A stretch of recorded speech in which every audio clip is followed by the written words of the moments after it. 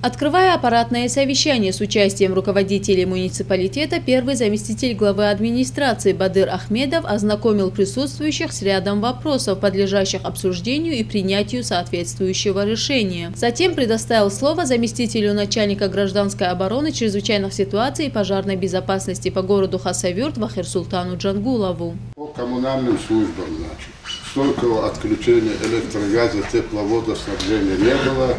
Значит, в штатном режиме были, значит, некоторые жалобы со стороны населения в начале недели. Это на слабое давление газа юбилейный, Олимпийский, Татурбиева, Кирова. В общем, за истекшую неделю особых жалоб от граждан, помимо вот этого на газ, не поступало.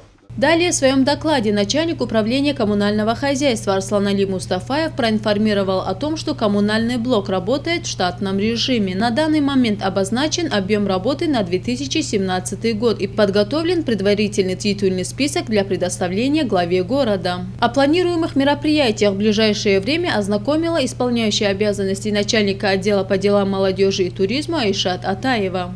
По образованию, если говорить, то во всех школах, СУЗах и вузах будут проводиться лекции, открытые уроки, э, конкурсы на лучший рисунок, сочинение, эссе и так далее. Э, что касается спортивно-массовых мероприятий, намечается два спортивно-массовых в общем, игры. Это по мини-футболу и по боксу.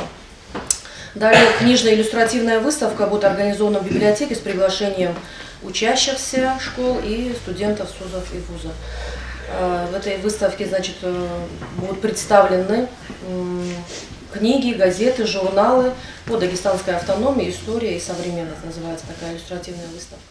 Продолжении Бадыр Ахмедов, обращаясь к отделу торговли, дал задачу в преддверии открытия новой школы в поселке Юбилейный привести в порядок территорию вокруг торговых точек, устранить стихийную торговлю вдоль автодорог. В ходе выступления начальник управления образования Руслан Ибрагимов озвучил основные вопросы в сфере образования, связанные с подготовкой и проведением Олимпиады по Северокавказскому федеральному округу, отметив, что уже начат заочный этап, выставлены задания и обрабатывается вся информация в данном данном направлении. В завершение руководителем совещания Бадыром Ахмедовым были даны соответствующие поручения. Зарема Хайбулаева, Самат Гакаев, информационная программа «Пульс».